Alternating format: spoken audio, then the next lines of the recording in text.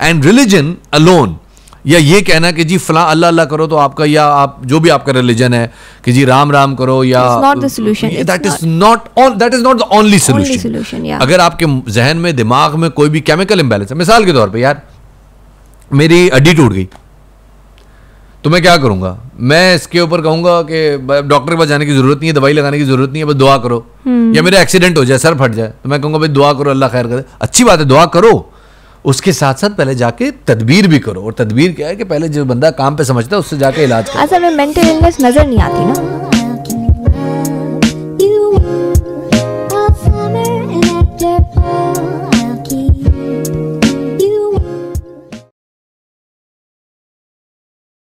यार, आगे भी इसी तरह की एक थोड़ी सी डिप्रेसिंग न्यूज़ है। हमारे एक बहुत अच्छा लो मिडिल क्लास फैमिली का एक सीएसएस ऑफिसर था।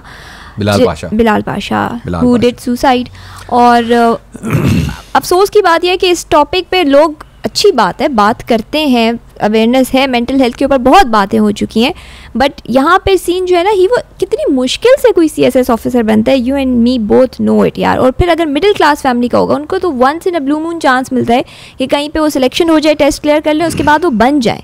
उसके बाद उनको कितना बैकलैश फेस करना पड़ता है because of their bosses because of the environment nobody talks about it basically बहुत सारे लोगों को नहीं पता कि लोग ना इसके अंदर मतलब कोई भी कभी कोई सुसाइड होती है तो लोग इसमें दो ओपिनियंस रखते हैं ओपिनियंस रखते हैं। पहली तो ये कि सुसाइड किया हराम मौत मरा है हाँ, कोई फ़ायदा नहीं। हाँ। दूसरी ये होती है कि सुसाइड की है तो यार इसके साथ कोई मेंटल स्ट्रेस होगा कोई प्रॉब्लम होगा we need to talk about it दोनों ही बिहेवियर्स जो है ना वो बंदे की कंडीशन से टोटली ऑब्लिवियस होते हैं। न रिफॉर्म से आप किसी बंदे की मेंटल स्टेट डिटर्मिन कर सकते हैं और ना उस बंदे को रिलीजियसली जज करके आप उस बंदे की मेंटल स्टेट जज कर सकते सही बात है। बिलाल पाशा गरीब घराने का बच्चा था। इस बंदे का ताल्लुक था अब्दुल हकीम खानेवाल का एक इलाका है अब्दुल हकीम वहाँ से। इसके वालिद मेरे ख्याल में अहमद बशीर नाम है उनका शायद आई एम नॉट श्योर अगर मैं गलती कर रहा हूँ तो। लेकिन इसके वालिद ने ये बच्चा अपने भाई को दिया हुआ था। ओ अच्छा। उनके उसका भाई भी औलाद था। Okay okay okay. तो लेकिन रहते सब एक ही घर में थे तो ये बच्चा बाकी अपने भाइयों को जानता है और सब कुछ करके ये बच्चा अपने चाचे के साथ रहता था। जब ये सीएसएस ऑफिसर बना तो इसने जाके अपने वालिद जो अपने मुँह बोले वालिद यानी इसके चचा के साथ खड़े होके इसने कहा कि जी लोग कहते हैं कि सी जो है वो सिर्फ़ अमीर आदमी कर सकता है मैं गरीब आदमी हूँ मैंने जो है सी एस एस किया। अच्छा सी एस एस में सिर्फ़ किया नहीं इसने ऑल ओवर पाकिस्तान पांचवी पोजीशन ली थी। वेरी नाइस इस बंदे के साथ अभी खैर बीच में इसकी तीन साल पहले शादी भी हुई थी शादी फिर नहीं चल सकी और उसके बाद भी ये डिप्रेशन में था। ही वॉज़ अपॉइंटेड एज मेरे ख्याल में कैंटोनमेंट बोर्ड का सीईओ था ये बनू का। और इसकी भी ट्रांसफ़र हो गई थी पिंडी। फिर इसने अपने वालद साहब को फ़ोन किया और कहा कि जी मेरा दिल चाहता है मैं आऊँ। घर और ज़रा लंबा टाइम सोऊं मैं। सोया नहीं हूँ बड़े दिनों से। इस सारे प्रोसेस के नीचे इसके एक कैरेक्टर आता है जिसका नाम है इब्रार शाह। वो उनका दोस्त है। वो कहता है मैंने इब्रार शाह को फ़ोन मैंने इसको फ़ोन किया ऑफ़िस में। ये ऑफ़िस में नहीं उठाया फिर मैं मैं कहता मैं इसके ऑफ़िस पहुँचा। तो वहाँ उन्होंने कहा कि जी अभी साहब आए नहीं है। कहते मैं वेट करता रहा फिर मैं इसके घर चला गया। तो उन्होंने कहा कि जी हम दरवाज़ा खोल रहे हैं नॉक कर कोई खोल नहीं रहा। कहते हैं पीछे स्टोर की साइड से एंटर हुआ तो देखा तो आगे हाँ अपने आप को gun fire gun I don't know. Gun gun से किया हुआ है। गन से किया हुआ, अच्छा। सी एस एस ऑफिसर में बहुत सारे सुसाइड का रुझान है लेकिन uh, यहाँ पे बहुत ज़्यादा ज़रूरत है मेंटल कंडीशंस को समझने की जिनके अंदर सुसाइड का रुझान बहुत ज़्यादा होता है और आपको लगता है कि the only way you can get rid of this stress is through suicide और आपको लगता है if you get out of it that's only way you can silence your brain क्योंकि बाजू का दिमाग इतना शोर कर रहा होता है hmm. कि आपको और कोई तरीका समझ नहीं आ रहा होता hmm. कि उसको किस तरह से चुप कराया जाए। इस हवाले से मेंटल हेल्थ पे अब लोग बात करना शुरू हो गए हैं। अच्छी बात है बात कर रहे हैं लेकिन अगेन इसमें जो मोस्ट क्रिमिनल वो है ना बिहेवियर है वो ये कि यार इसमें क्या बड़ी बात है कि अपने आप को मार दिया? मतलब ये कोई बात है? यार, वो आप खाली इस पे बात करते हो। खैर टॉपिक से हट जाएगी ये बात। लेकिन अल्लाह माफ़ करे, हमारे मुल्क में लोग, हमारे मुल्क में क्या कुछ पर्टिकुलर जो है ना, उनमें बहुत ज़्यादा आंटियों में मसला होता है। किसी भी घर में कोई भी डेथ होती है तो पहले जो है ना घर वालों को ब्लेम कर रहे होते हैं। ठीक है? इसी तरह जैसे इस पे जिन्होंने इस बंदे की डेथ हुई इसने अपने आप को सुसाइड किया उसको ब्लेम कर रहे हैं कि बस अल्लाह माफ़ करे हराम मौत मर गया अब तो वो जहाँ भी इसका ख़राब हो गया वगैरह वगैरह इस टाइप की बातें। तो बहुत सारी चीज़ों पे बात करने की ज़रूरत है और मोस्ट इम्पॉर्टेंटली यहाँ पे ये बात बताने की ज़रूरत है कि मेंटल हेल्थ के हवाले से हमारे मुल्क में बहुत सारी दवाइयाँ जो कि बाहर मुल्क में बहुत कॉमन है। यहाँ बैन है। बैन है। हम्म, मिसाल के तौर पे एक बहुत ही कॉमन चीज़ है जिसका नाम है Yeah. जो कि पाकिस्तान के अंदर एक मोहतात अंदाजे के मुताबिक तकरीबन 10 फ़ीसद पॉपुलेशन को है।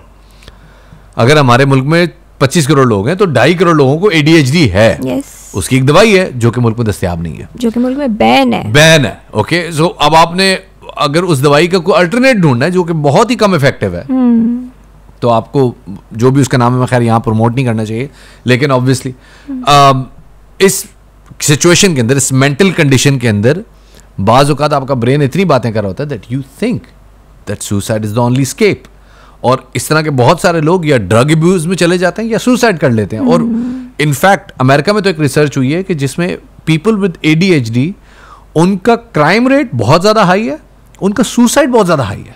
It's more than twenty percent ये किसी और मेंटल कंडीशन में नहीं है कि जहाँ पर ट्वेंटी परसेंट लोग सुसाइड कर लें लेकिन इसके हवाले से अवेयरनेस क्या है? कुछ भी इसके ऊपर बात करने की ज़रूरत है। और ये मैं सिर्फ़ एक हवाले से बात बता रहा हूँ। दस हज़ार किस्म की और मेंटल स्टेट्स हैं जिनके ऊपर बात करने की ज़रूरत है। एंड रिलीजन अलोन या ये कहना कि जी फला अल्लाह अल्लाह करो तो आपका या आप जो भी आपका रिलीजन है कि जी राम राम करो या that is not that is not the only solution अगर आपके जहन में दिमाग में कोई भी केमिकल इम्बेलेंस है मिसाल के तौर पर यार मेरी हड्डी टूट गई। तो मैं क्या करूँगा? मैं इसके ऊपर कहूँगा कि डॉक्टर के पास जाने की ज़रूरत नहीं है दवाई लगाने की ज़रूरत नहीं है बस दुआ करो। या मेरा एक्सीडेंट हो जाए सर फट जाए तो मैं कहूँगा भाई दुआ करो अल्लाह खैर करे। अच्छी बात है दुआ करो। उसके साथ साथ पहले जाके तदबीर भी करो। और तदबीर क्या है कि पहले जो बंदा काम पे समझता है उससे जाके इलाज करो। असल में मेंटल इलनेस नज़र नहीं आती ना। ठीक है आपका फ्रैक्चर नज़र आता है आपका हील हो रहा है ठीक हो रहा है तो हम्म। आप जाते हो। मेंटल इलनेस नज़र नहीं आती। Nobody talks about it जो बेचारा फील कर रहा होता है वो भी हार्डली किसी से शेयर कर सकता है इस चीज़ को। एग्जैक्टली तो वो फिर अल्टीमेट खुद जो उसका दिमाग काम करता है सोल्यूशन की तरफ़ वो ये एक सीख करता है हेल्प किसी मौलवी से किसी नमाजों exactly. से दुआओं से। डायबिटीज़ भी तो नज़र नहीं आती। डायबिटीज़ के लिए लोग क्यों नहीं जाते? बट टेस्ट तो होता है ना उसका। टेस्ट में आ जाता हाँ, है। मेंटल हेल्थ का प्रॉब्लम मेंटल टेस्ट हेल्थ का टेस्ट भी है उसके हाँ। बट वो पाकिस्तान अवेयरनेस नहीं। नहीं है उसके। अवेयरनेस नहीं। Yes. वो मुझे बड़ी हैरत होती है ना कि कोई सेलिब्रिटी हमारे मैं कह रहा हमारी फ्रेटर्निटी के लोग हाँ। कह रहे हैं ये स्ट्रेस कोई चीज़ नहीं होती। ये आपकी फ़ूड होती है। आप अच्छा फ़ूड खाएँ आपको स्ट्रेस नहीं होगा। बहुत सारे लोग हैं। Yeah. कहते हैं कोई स्ट्रेस कोई चीज़ नहीं होती। You just need to do exercise बहुत पढ़े लिखे लोग हैं। आप उनको मेंटल हेल्थ के बारे में कहें कि यार यू नो फला बंदा उसके साथ ये ओ यार nothing he just needs to do some exercise I mean ठीक एक्सरसाइज का एक बेनिफिट है। But at the same time उसकी मेंटल हेल्थ को गेज करना आपका काम नहीं है। Yeah. ये एक प्रोफेशनल का काम professional. but here professional needs some attention too that they need the confident uh, confidentiality of a patient is very important. है। ओह हो हो आपके पास तो पेशेंट आता है स्पेशली सेलिब्रिटीज आते हैं तो उसके बाद वो न्यूज़ पूरी इंडस्ट्री में फैली हुई होती है कि फलां पेशेंट मेरे पास आया था और उसको ये ये मसले। गॉसिप तो आपको गॉसिप गॉसिप का तो- बड़ा मत- मेरे ख्याल में आज हमने काफ़ी लंबा एपिसोड कर दिया क्योंकि खबरें बहुत ज़्यादा थी। वेल खातिन हजरात शफात अली और को दीजिए इजाज़त आपसे इंशाल्लाह दोबारा मुलाकात होगी थैंक यू बाय बाय